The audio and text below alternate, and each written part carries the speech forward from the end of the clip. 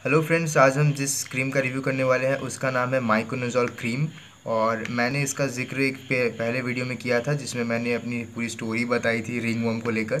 तो ring warm के लिए ही मुझे इसे डॉक्टर ने दिया था, टीनिया भी जिसे कहते हैं और जिसे दाद भी कहते हैं हिंदी में। तो उस क्या होता है कि आपका ब्लैक स्पॉट हो जाता है, जिस एरिया में होता है और वो इन्फेक्शन बढ़ता जाता है। ये बेसिकली एक फंगल इन्फेक्शन है, जिसके लिए ये डॉक्टर ने दिया था। तो ये, पहले मुझे ये क्रीम दिया था डॉक्टर ने।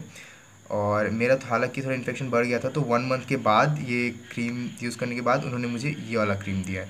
तो बेसिकली दोनों कॉम्पोजिशन सेम है माइकोनिजोल क्रीम तो इसका जो ब्रांड नेम है रिविजोल और इसका होगा कुछ यहाँ पे ठीक से दिया नहीं है, इसका सिर्फ़ कॉम्पोजिशन ही माइकोनाजोल क्रीम आईपी और दोनों है फिफ्टीन ग्राम का। और इसका जो रुपीज़ है वो बस टेन रुपीज़ ही है टेन रुपीज़ में आपको मिल जाएगा। तो अगर आपको भी कोई टीन है या फिर रिंग वोम की प्रॉब्लम है तो आप इसे ज़रूर यूज़ करके देखिए या फिर अपने डॉक्टर से रिकमेंड कीजिए तो डॉक्टर आपको अगर इसे रिकमेंड करते हैं तो आप इसे यूज़ करके देखिए और कैसा आपका एक्सपीरियंस है, वो अपने, हमारे कमेंट्स में ज़रूर शेयर कीजिएगा। Thanks for watching